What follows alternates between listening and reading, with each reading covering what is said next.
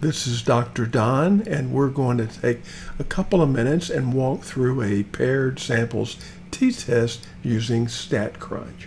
Here's the situation. We have a medical researcher that has a new drug, and the researcher wants to determine whether or not a drug, the drug changes body temperature.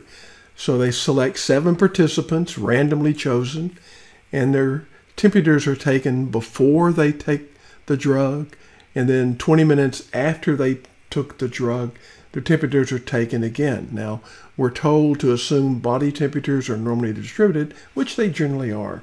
And we want to use an alpha of 0.05. Our significance level there is 0.05, 5%.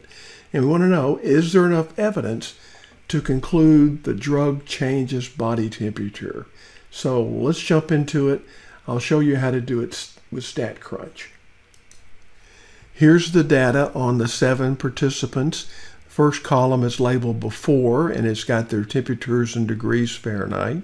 And then we've got a column labeled after 20 minutes and those are their temperatures.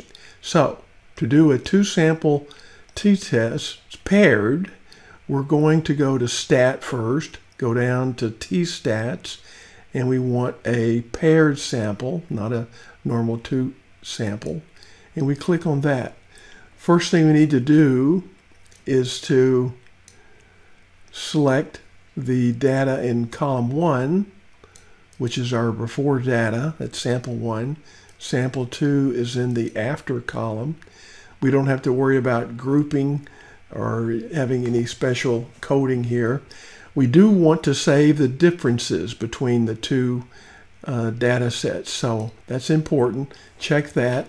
We're doing the hypothesis test for the mean difference, mu d, mu1 minus mu2. Our assumed null difference is zero.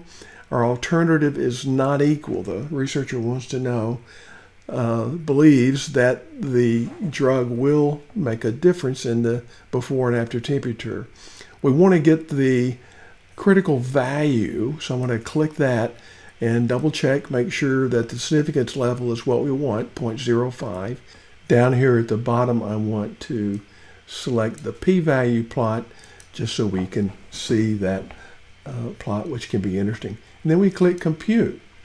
And we've got our results.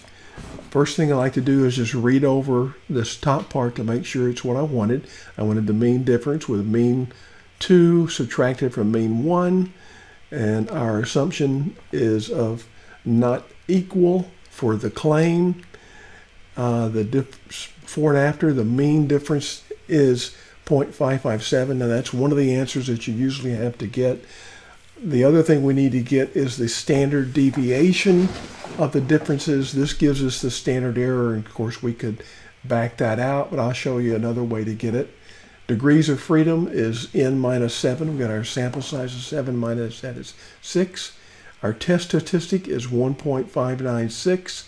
We've got a critical t-value because I checked that and set the significance level is 2.447 and there's two of them. There's a plus and a minus because it's two-tail. and we've got a p-value of 0.1616 which is much larger than our significance level. If we go here to our p-value plot, we can see that these lines are our test statistic above and below because we want to check to make sure it's as extreme or even more extreme and that can be above the mean, a positive difference or a negative difference. The area under the curve here is 0.08 above and 0.08 approximately below and that gives us our total of 0.16. So that's the first part.